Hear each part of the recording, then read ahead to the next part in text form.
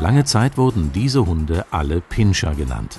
Man unterschied lediglich, ob sie rauhaarig oder glatthaarig waren.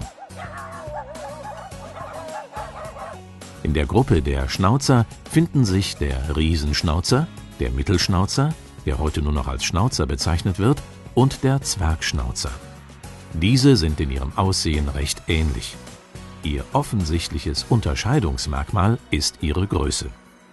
Der Weltdachverband FCI beschäftigt sich mit der Lehre vom Hund und definiert die rassespezifischen Richtlinien. Der Zwergschnauzer ist dem FCI-Standard Nummer 183 beschrieben. Er ist mit seiner Widerristhöhe von 30 bis 35 cm das verkleinerte Abbild des Schnauzers. In der Zwergschnauzerzucht sind jedoch mehr Farben zugelassen als beim Schnauzer. Zusätzlich zum bekannten Schwarz und der Pfeffer- und Salzfärbung gibt es beim Zwergschnauzer auch Schwarz-Silber oder reines Weiß. Seine Wesenszüge entsprechen denen des Schnauzers. Bei ihm spielen jedoch auch Temperament und Gebaren eines Kleinhundes mit hinein. Schnauzer und Pinscher sind Traber, die gut und ausdauernd weite Strecken bewältigen können.